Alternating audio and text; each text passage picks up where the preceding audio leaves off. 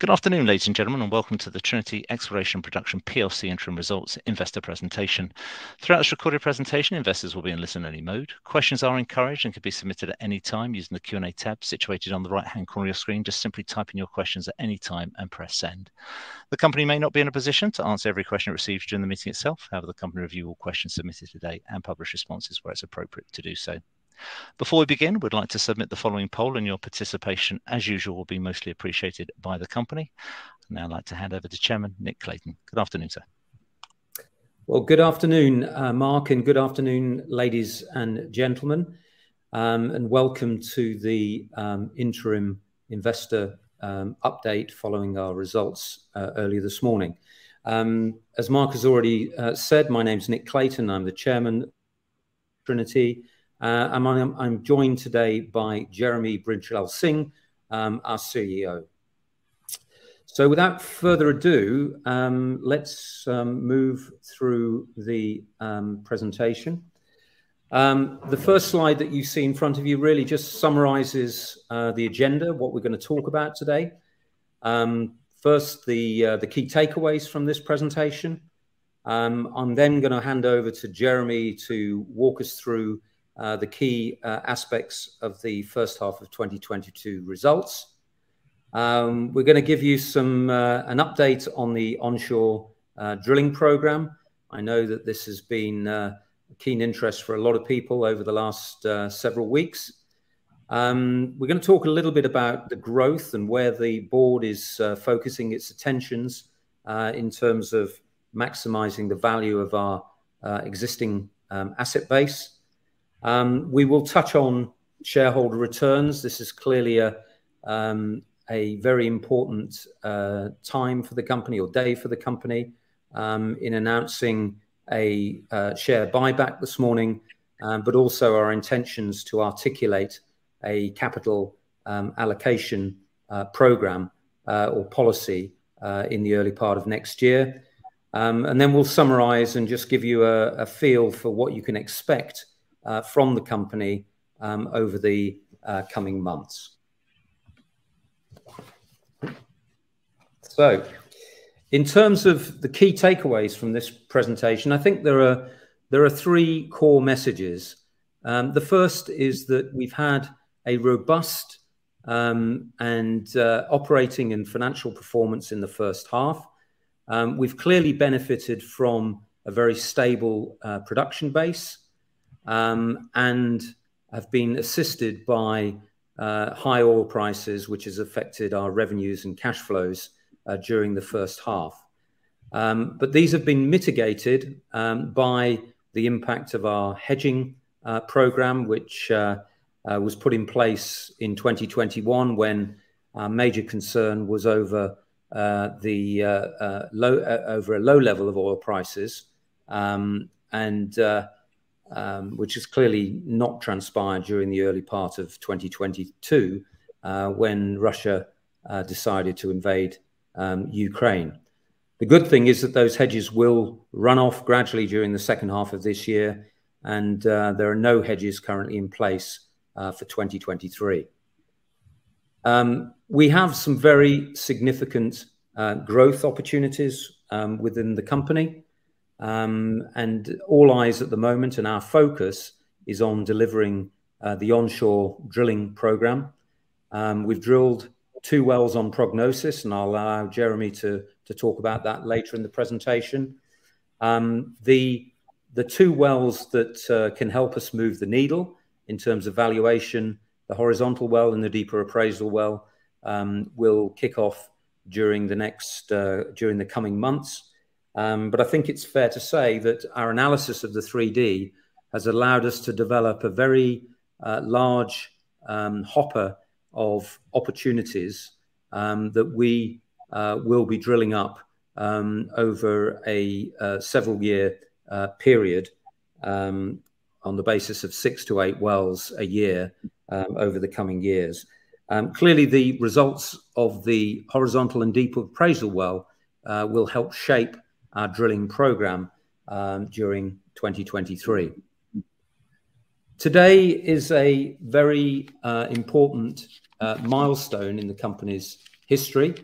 Um, we've been talking about shareholder returns uh, for quite a while, um, but today you will have seen that we've announced a uh, modest share buyback, but probably more importantly, our intention to articulate a capital allocation policy in the first uh, half of next year um, that is expected to involve a regular dividend um, and share buybacks or other uh, means of delivering value back to shareholders uh, dependent on uh, the level of commodity prices. But I think it's also important to say at this juncture um, that the board is is confident that we are not going to stifle um, the growth plans uh, for the company um, over the coming years by implementing this policy.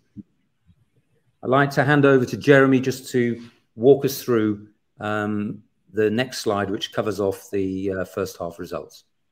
Jeremy. Thanks, Nick, and thanks everyone for joining us today.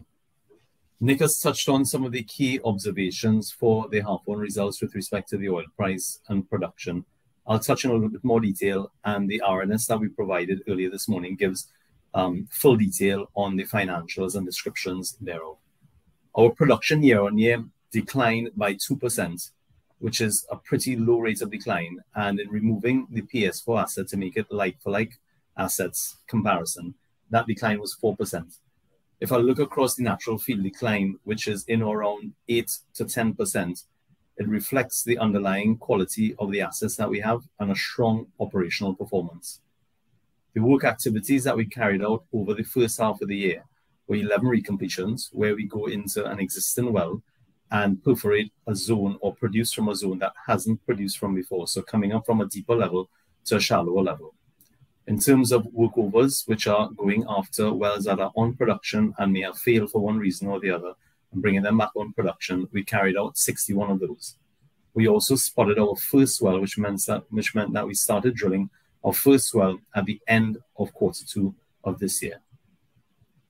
In terms of our cost structure, our operating break-even remained relatively low on a comparable basis, with the operating break-even landing at $32.4 per barrel over the course of half one of this year.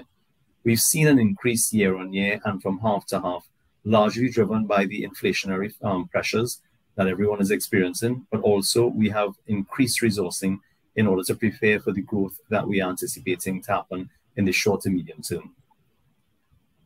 We've chosen to include the net cash from operating activities here, and we've shown that before hedging and post hedging. The reason for showing that is that the oil price has increased, productions remain relatively stable. And if you can compare year on year, before hedging, you can see a significant increase from 3.5 million to $8.9 million before hedging. And the reason that we've included the before hedging as a metric here is to be able to illustrate that whilst half one, as Nick mentioned, the impact of the, the increased oil prices were mitigated somewhat by the impact of hedges in half two of 2022, the hedges begin to come off and reducing the amount of production that is hedged. And in 2023, there is no hedging in place currently. We have a cash balance of $15 million on the balance sheet, as well as we expect to generate significant operating cash flow this year, which means that we are able to fund the drilling campaign that we have, the six well drilling campaign, without recourse to any external financing.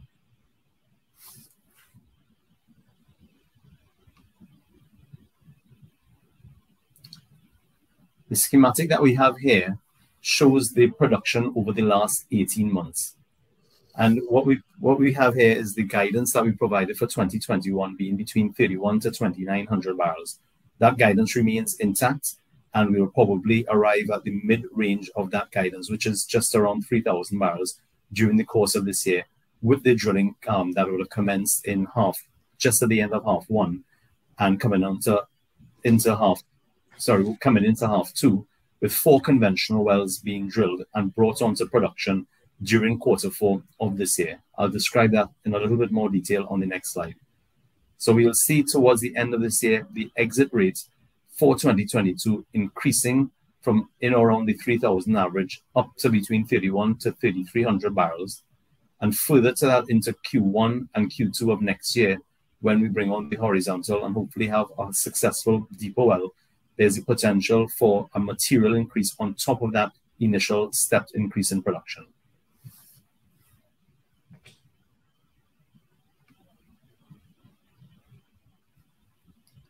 As Nick mentioned, the first two wells that we drilled encountered and delivered results as was expected.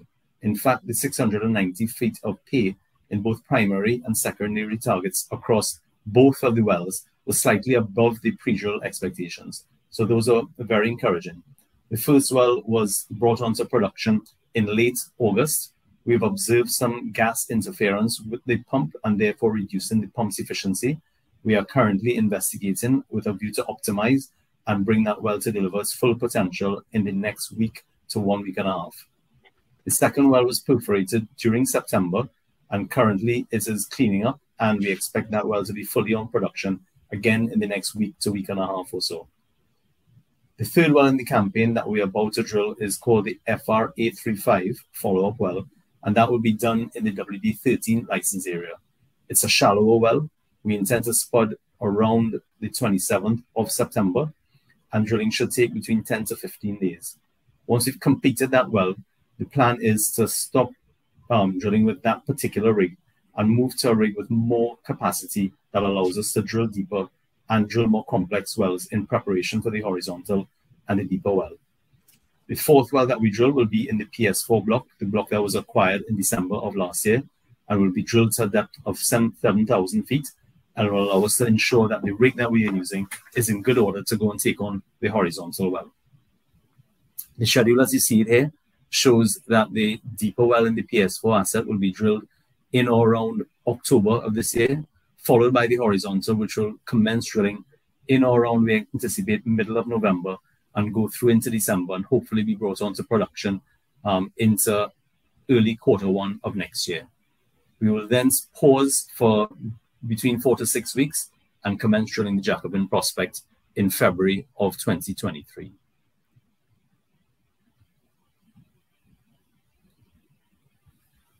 The last update that we provided, we spoke a lot about the impact of the 3D seismic. And what we identified from the 3D seismic was trying to be able to look at applying new techniques in terms of unlocking potential within our assets. And what we were trying to achieve is increasing the ratio between the capex invested and the barrels that we recovered on a per well basis. That's why this drilling campaign included not just the four conventional wells that we've drilled many of in the past, but we've also included a horizontal well and that deeper well. To refer to the horizontal well, what we are looking at here is targeting initial production rates, which are sort of in the range of between 100 to 200 barrels of oil per day. Compare this to rates of the typical conventional wells, which we see between 40 to 70 barrels per day. You can see that there's a marked or step change in the, in the initial production rates and hopefully the amount of barrels that we recover over the life of the well. In turn, this should increase the economics or make the economics better for the horizontal wells. And you can see in the bottom right-hand side box where the IRRs and cash returns when you compare a low angle to a horizontal well are significantly uplifted. The deeper well that we plan to drill is going to be called the Jacobin prospect. In the last update that we provided to the market, we came to you and we showed the, this same map on the left-hand side with our Palo Seco assets, WD56, WD2, and PS4, with nine areas of interest included. Subsequent to that, and where we currently stand, of those nine, three have been moved forward to drill-ready prospects. So those are prospects that have been through our internal technical team's review, as well as with the technical committee that was installed in late last year. We then ranked those prospects and the Jacobin prospect has come to the fore. As a reminder, the typical sort of, we expect uh, from the Jacobin prospect to recover typically in our, in a success case, one to five million barrels of oil in place and recover in around one to 1.1 million barrels of reserves in a success case. I can't, hide. I mean, this is going to be drilling into an area that has been very not drilled very significantly, and therefore it's increased risk, it's deeper, and we are taking our time in terms of ensuring that we understand the drilling plan and working with a third party company to ensure that the drilling plan is secure. We will then submit that prospect into Heritage, ensure that we have the tools on the ground for data acquisition, all items are in place, and that is what is guiding the schedule for us to commence drilling this in February of next year. Both the horizontal well and the deeper well represent greater risk, but also significantly greater reward for us, as the economic table shows down below. In addition to these, though, we have a further hopper of wells, which will allow us to have a continuous multi-year drilling plan, as Nick mentioned earlier.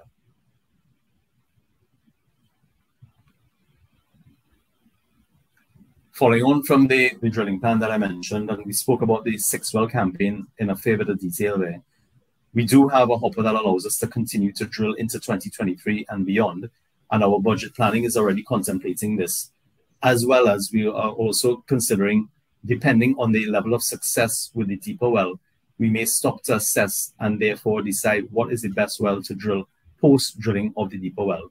In any case, you can expect us to be turning a bit during the course of next year and continuing the growth that we you will like you will see coming up at the end of Q1, quarter four of this year, sorry, and into Q1 and Q2 of next year. Galeota, we commenced a farm-out last year and then paused it pending the clarity on fiscal reform. We are still looking forward to fiscal reform as we believe that this will help unlock oil production and increase incentivized investment in Trinidad and Tobago. Nonetheless, we are refining the plans for Galeota based on the feedback we received, also observing the market and looking at looking at adjusting the plan for Galeota such that we are targeting lower risk reserves in terms of the 2P reserves, as well as looking at a more capex mitigated schedule, thereby allowing a lower level of capex to be initially uh, invested in order to move the asset forward.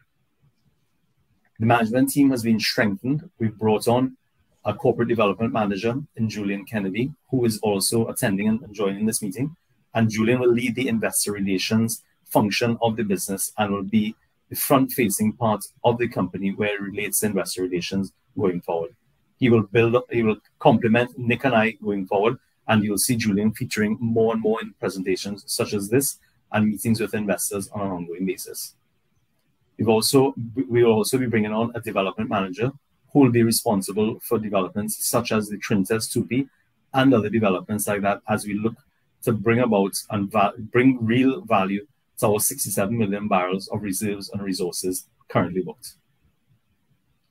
The final area that we're focusing on in the short term is on the onshore bid round, where the team is looking at the data that we've been provided with by the ministry we are looking at the blocks uh, that we are interested in, and this will go through a series of technical reviews. And providing that we are providing that the areas of prospective, our intent is to put place a bid in early January, and the award of those blocks through the process that the Ministry of Energy has guided will be given in April 2023 or 90 days post bids being um, bids being bids being put into the ministry, which should be in around the, the 9th or 10th of January. The other area that has begun is the shallow water bid round, which has commenced. And this has started off with the ministry asking for nominations of areas of interest, and that's due on the 11th of October. So quite a few different growth streams. Current focus is on delivering the drilling program safely and on drilling plan and within budget.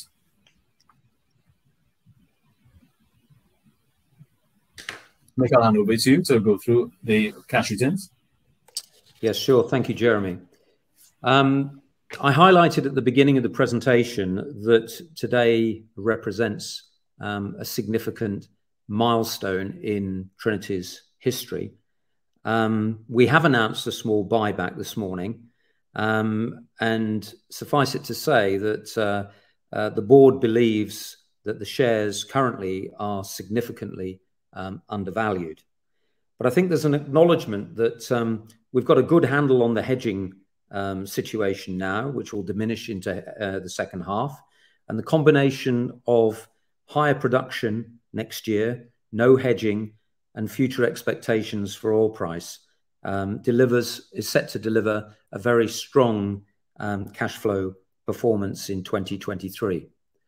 So our objective in announcing the um, capital allocation policy next year is really to, sharpen our capital discipline without compromising growth, but also to recognize that we are in a period of, I would suggest, abnormally high uh, crude oil prices.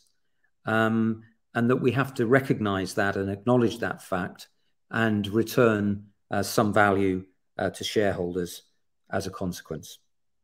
So the capital allocation policy, um, I don't want to spend too much time um, going into details today, um, but, su but suffice it to say, it will involve a regular dividend, beginning with a maiden interim dividend this time next year, and future buybacks and or special dividends that will flex uh, dependent on levels of commodity prices over and above uh, the level that we believe is sustainable on a midterm basis. So in conclusion, um, I think there are four messages. You know, the financials and the operations are strong. Um, we have delivered a, a, strong operational performance, and that will be augmented by uh, a stronger financial performance during the second half and into 2023 um, as our hedging instruments uh, begin to, to run off. Um, we have a significant hopper of opportunities to create value, and that is clearly our focus at the current time with the drilling program. Uh, and Jeremy has already alluded to uh, the uh, steps that we're taking to um, optimize the value of Trintes and the Galeota block. Um, we're certainly hopeful that there will be fiscal reform, but we're certainly not counting on it, and we're taking it taking uh, our lives into a, into our own destiny um, in terms of um, our activities uh, at the current time. And as promised, we will deliver shareholder returns during the course of the next uh, 12 months. So, in, in short, we are delivering, we're moving forward, and we will deliver cash returns to shareholders as we promised over the last 12 months. So that concludes uh, the presentation from um, from our side, um, and uh, I'd be happy to take uh, or deal with questions um, that have arisen. That's great. Nick, Jeremy, thank you very much indeed for updating investors. Uh, ladies and gentlemen, please do continue to submit your questions using the Q&A tab situated on the right-hand corner of, your screen. Just while Jeremy and Nick take a few moments to review your questions submitted already, I'd like to remind you the recording of this presentation, along with a copy of the slides and the published Q&A, can be accessed via your Investor Meet Company dashboard. Um, Nick, I, I, haven't given you uh, any time at all, really, to, to look at the questions, but you have received a number of questions both ahead of today's event and uh, throughout. And I wondered if I may just hand back to you to read out those questions and, where appropriate, give a response, and then I'll pick up from you at the end. Okay, so there were four uh, pre-submitted questions. Uh, the first was, were you surprised about Capricorn putting itself up for sale rather than focusing on growth? Um, we were assuming it was going to be a good partner. Uh, will this still be the case in the future? Well, I think in simple terms, yes, we were surprised to hear, or I was surprised to hear, and we were, as a company, were surprised to hear the news about Capricorn. Um, as you all know, we work very closely with Capricorn on evaluating opportunities in Trinidad um, uh, during the course of late last year and early this year. And we were confident that Capricorn would have been a very valuable partner. Um, I think it would be inappropriate to speculate about, speculate about Capricorn's future um, and therefore whether there will be scope for us to, to partner with Capricorn in the future, to be honest, at this point. Um, second question, would you consider it possible uh, that after the conclusion of the drilling program, a maiden dividend could be announced? Uh, well, I think I've addressed that during uh, the presentation. And also the question three was about buying back shares. And again, um, I think we have uh, delivered a response to that question and provided uh, as detailed an update as we can um, on the drilling program to date.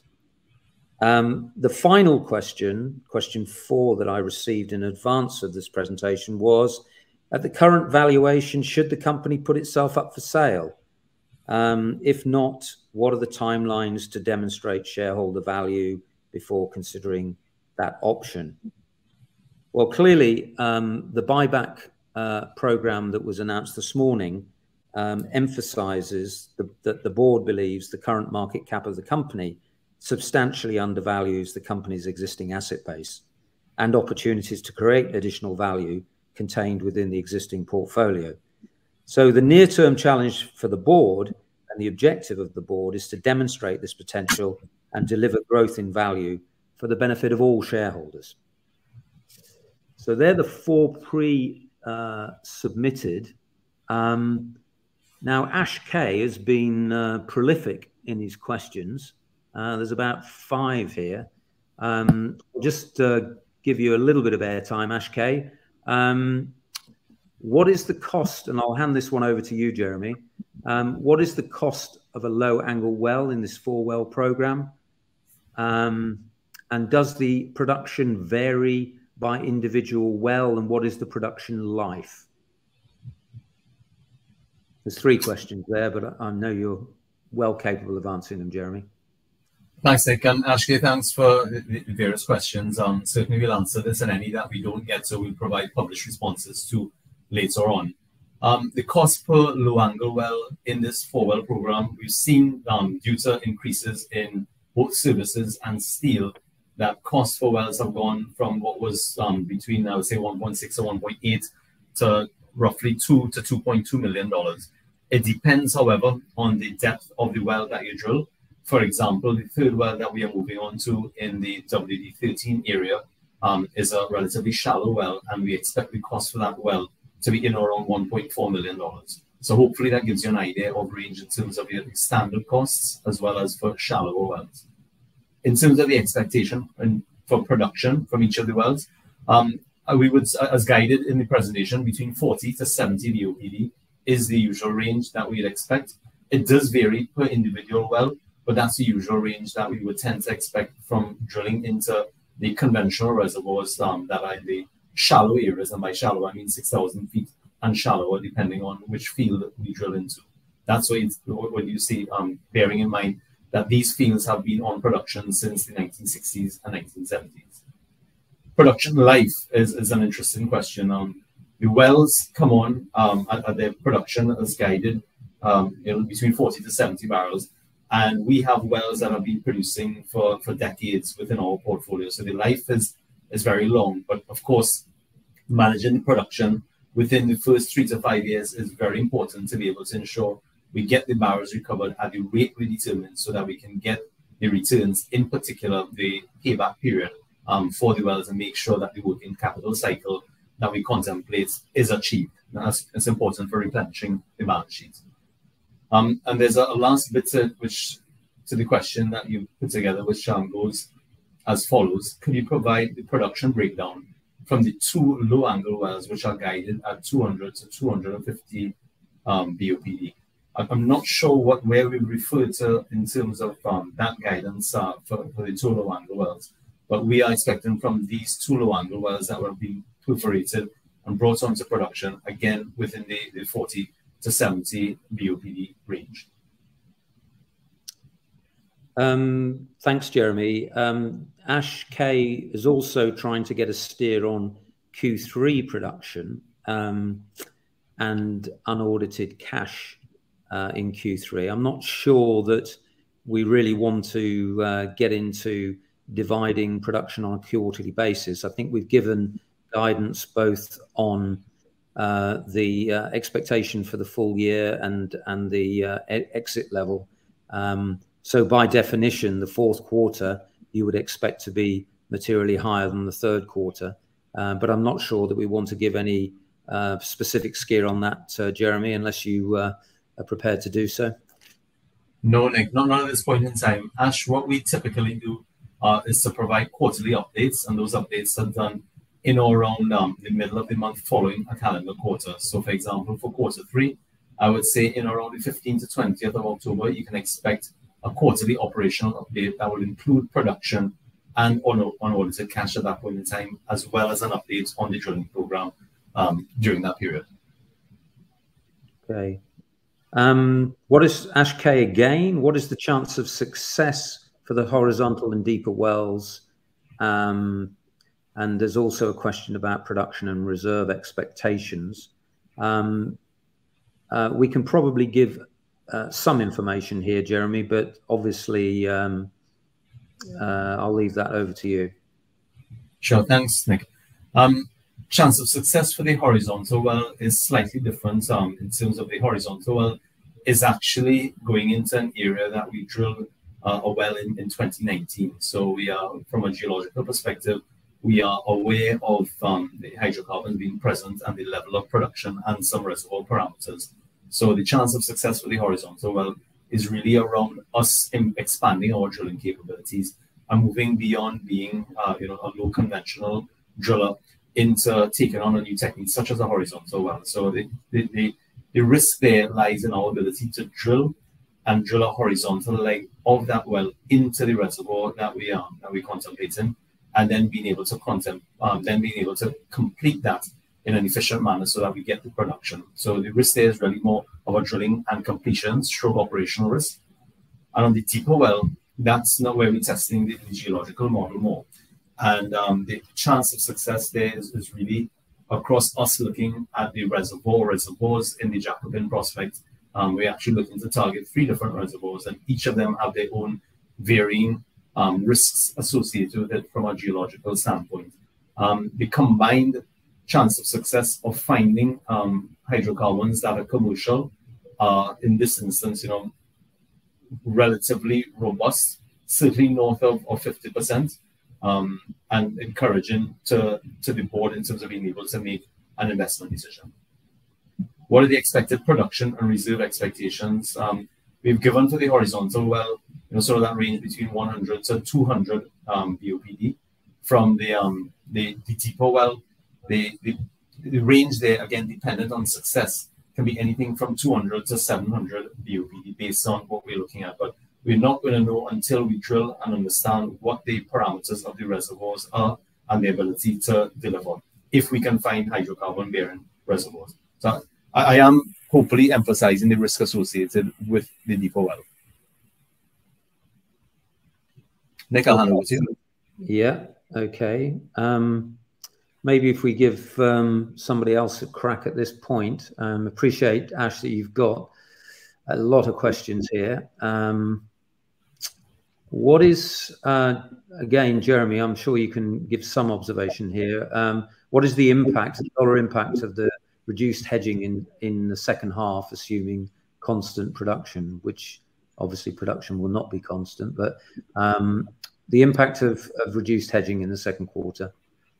we give any guidance on that? Yeah, sure. I mean, what in terms of the hedging percentages? So, we've hedged 58% of production in half one of this year, and going into half two of this year, you it is reduced to 46%, and actually only 30% of the production is limited in terms of upside. So therefore, um, the, percentage of production goes from 58% limited to upside through purchases of calls, call options, to 30% um, in half two of this year. In terms of dollar impact, um, the, the, there's an explanation within the um, the interims that we set out and suggest that you know during the earlier part of this year we would have recorded in around 7.7 million dollars worth of um of hedging either cost paid or accrued and towards the end of the year the total amount should be in around just over 12 million us dollars that was based on looking at the future value of the hedges or the, the liability associated with the hedges for half two as at the 30th of June um, 2022, based on where the oil price um, was at the end of August and taking a, a fair value at that point in time. Um, what we see is the annual exposure should reduce from just over $12 million to just over $10 million. So you're looking at a, a difference in, in half two where half one is maybe about $7.7 million, half two being somewhere in the vicinity of, you know, two to three million dollars. And then with uh, 2023, no hedges in place. Nick, I'll hand over to you. Yeah, there's, there's, there are several questions about um, fiscal reform, um, expectations, hopes, fears um, in the budget. Um, so um, you know, I think it's fairly. I think all we can say at this point, and I think I made it the point during the presentation, that um, you know we've um, we've tried to clearly there is um, uh, very uh, economic uh, rationale for um, for fiscal reform in Trinidad, um, and we would certainly like to think that the minister um, would be true to his word in terms of uh, suggesting that uh, there will be fiscal reform um, at some point in the near future. But we certainly can't rely on it. And Trinity is, uh, as I said, taking its own destiny, uh, its destiny into its own hands by um, certainly in the context of Galeota, looking at developing the Tupi reserves, etc., uh, rather than being uh, totally reliant on fiscal reform in Trinidad. Um, but we're pretty clear that if there was reform, uh, it would enable the government and the uh, minister uh, to achieve his objective of getting more oil out of the ground over a limited time frame. So, um, you know, I, I, think it's fair to say that we would, um, we're certainly not holding our breath. And given high oil prices and certainly uh, um, the trends around the world for uh, tightening uh, uh, fiscal terms rather than easing them um, against the current backdrop. Um, but the economic rationale and logic is certainly there uh, for the government to do something. But as I say, we're not holding our breath. Jeremy, is there anything that you would want to add to that in terms of um, you know our current views on on on fiscal reform? Yes, thanks, Nick. I think you know, in, you point out fiscal reform. I certainly echo what I wanted to draw reference to is the you know the share buyback program and the discussion of cash returns to shareholders um, during the course of next year is built on the business as it stands right now and doesn't contemplate any fiscal reform and neither does it contemplate um, any of the deeper wells being successful. So, you know, we built this um, return to shareholders. It's certainly going to start off from a modest perspective in, in terms of the, the level of return. But in the event that those are, are successful in terms of any fiscal reform or the deeper well being successful, then that will allow us to calibrate upwards what we're currently thinking of. Okay, thank you, Jeremy. There are a number of questions here uh, seeking a steer on average production for next year. Now, clearly, um, you know, to a certain degree, that depends upon the wells that we put into the budget, um, and that will be finalised over the next month or two. Um, but um, I think we've given sufficient steer uh, to uh, investors in this presentation and to the market more recently um, that in a success case, um, you know, we are looking for production to um, to rise quite materially uh, during the course of next year. Obviously, subject to uh, the success or otherwise of, of the more non-conventional wells that we'll be drilling uh, later this year and into early next year. But Jeremy, is there anything else that you would like to say in addition to that? No, Nick, I think you've covered it um, quite well. Thank you. No, it's it's very it's very difficult at this stage to um, I think or to speculate. Um, we've obviously got an idea, but I don't really want to uh, put that into a formal number into the marketplace at this point. Um, uh, there's a comment on hedging going forward from ONT. Hedges have been costly in this period. What is the strategy going forward? Um, and I think the question is, you know, are we or would we contemplate looking at hedging strategies into the future? And I'll allow you to to answer that question, Jeremy. Thanks, Nick. um, I can answer it if you want, but I, I thought I'd, I'd I'd give you the easy ones. Yeah, I think you know we, have hedged. We've been hedging since 2017 it's perhaps most pertinent to everyone now, in particular um, investors, because of the the exposure and how high the oil price has unpredictably gone during the course of this year, most notably in um, in half one. Um, I think hedging is still an important tool for us from a financial standpoint. Certainly, if we want to maintain a certain level of free cash flow to be able to maintain production at whatever given level um, that for a particular year, as well as return cash to shareholders, contemplating hedging um, should be part of that discussion. Whether we choose to hedge um, would depend on the instruments that will be available to us, the cost of those instruments, and the underlying risk in delivering the business model for that year. So I think hedging will remain part of the discussion. Whether we put a hedge into place in a given period or not will depend on the factors as I've outlined previously. Yeah, and I think just to just to add to that, I mean, the whole purpose of hedging is to allow us to invest through the cycle and protect the level of investment um, that we need to um, continue to enable the business to grow. So uh, it, it, it should and will be part of our consideration going forward. But at this stage, I think uh, um, certainly there's nothing in the uh, uh in the plans for, for uh, as affecting 2023 at this point in time. Um, okay, I'm just I'm literally just going down the list here. Um, question on capex from Ash K, who's uh, featuring very heavily again. Um, could you please go over capex for 22 in detail? Or I think more importantly, could we just focus on the remaining, remaining capex uh, in the second half of the year broadly? Question, Jeremy?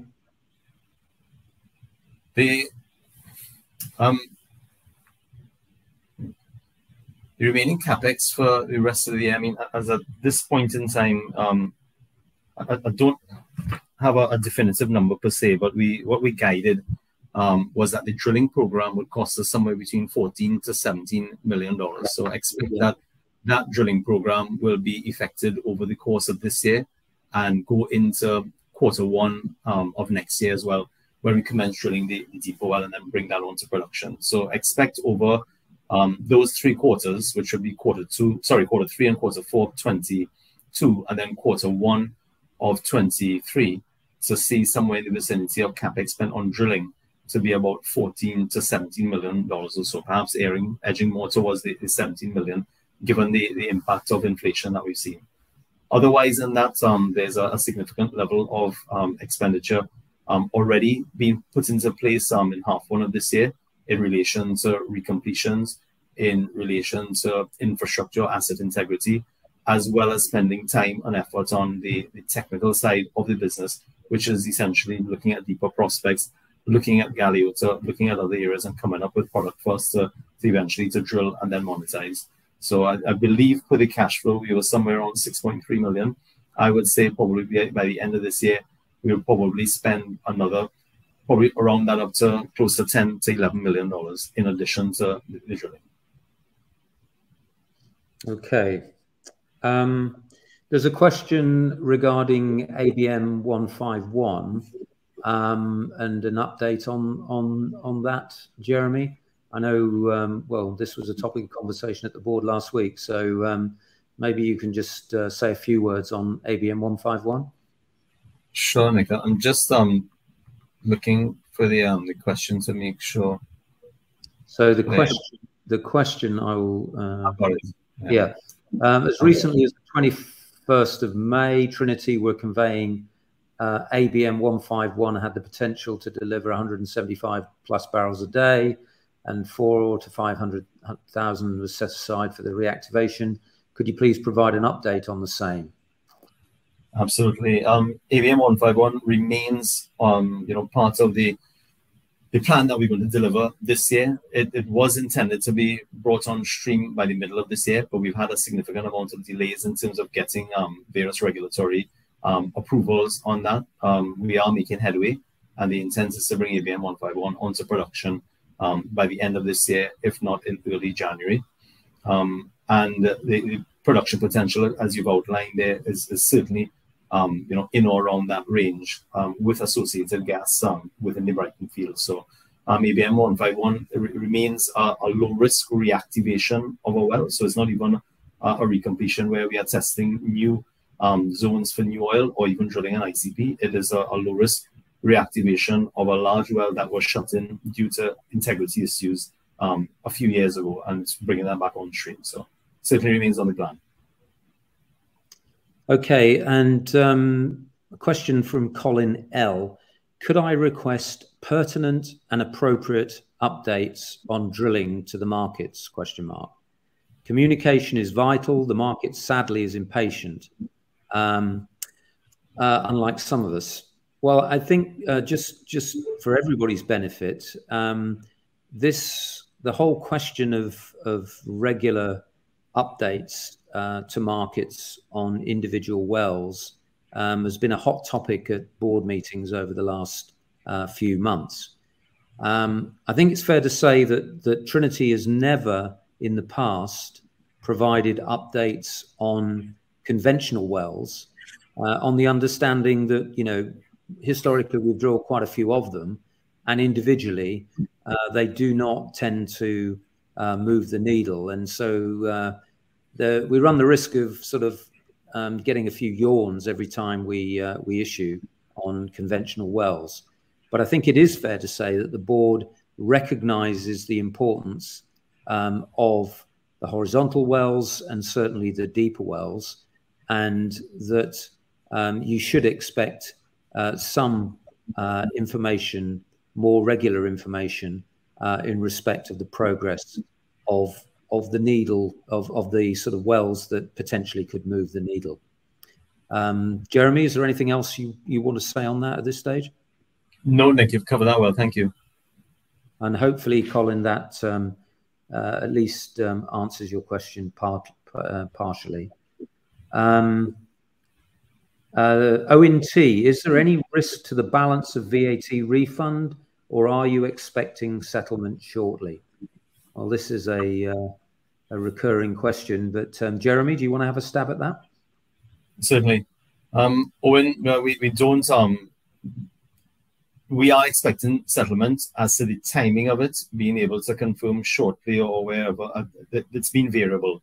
But at no point in time we've ever not received VAT from the government or had any returns that we, we've submitted um, being subject to scrutiny and reduced or the government not paid. So they've always made good on the debt that they owe to us, but it has been um, untimely in most instances. Um, and the government has recognized that. And at least two instances in the last 18 months, the government has um, put in play the ability for them to accelerate return the VAT returns um, to to the arm industry. Okay. Um, Ash K, again, what are the ranges being considered for the dividend amount? Uh, it's a very good question. Um, and clearly, um, uh, what I can say at this point is that any dividend that gets declared um, the key point is it has to be sustainable. Um, and it has to be looked at in the context of maintaining um, the minimum capital that we require to fund the business. Um, but clearly, we will articulate uh, our plans in detail um, at the beginning of, uh, with, well, with the final results for this year.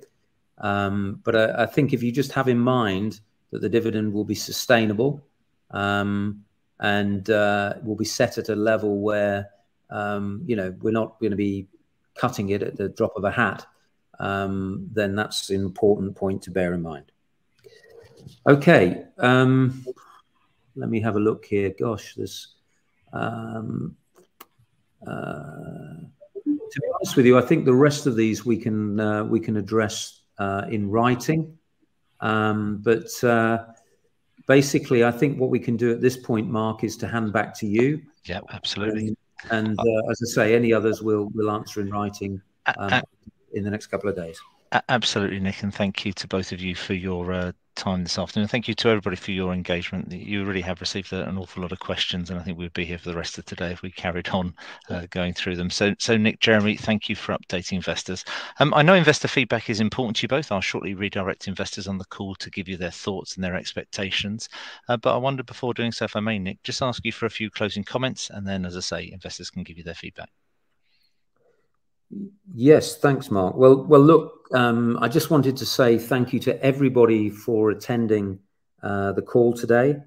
Um, I hope it comes across that we, as a board and as a management team, think that we're at a very exciting inflection point for the company um, for all sorts of reasons, operational, um, returning cash to shareholders, etc. Um, and uh, certainly Jeremy and I and Julian and others um, in the management team. Uh, look forward to keeping you informed over the months um, ahead. Thank you very much. That's great. Nick, Jeremy, thank you very much indeed for updating investors this afternoon. Can I please ask investors not to close the session as we'll now automatically redirect you for the opportunity to provide your feedback in order that the management team can better understand your views and expectations. This only take a few moments to complete, but I'm sure will be greatly valued by the company. On behalf of the management team of Trinity Exploration and Production plc, I'd like to thank you for attending today's presentation. Good afternoon to you all.